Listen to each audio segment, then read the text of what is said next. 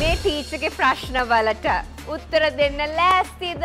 අනේ අපි ලෑස්ති ලෑස්ති. මං අහල තියෙනවා පිරිමි කට්ටියට ආකර්ශණය වැඩිවෙන්න බැන්දයින් පස්සෙ කියල. එක ඇත්තද? අලුතෙන් දාපොරුට දාප පදිනවරුවට මිනිසු කැමති කාලිත අයි. මොකද හිතෙන්නේ?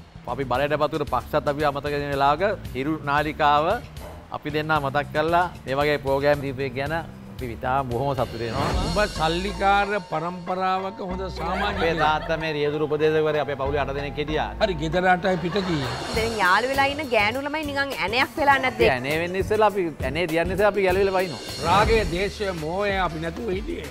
අද ඒක ඉහෙවහා ගියා මේ තත්පරේ කොහොමද දෙන්න දේශපාලනයට ආවේ? අපිට එහෙම තරුණ කාලයක් පොඩි කාලයක් කියලා තිබුණේ නැහැ අතන.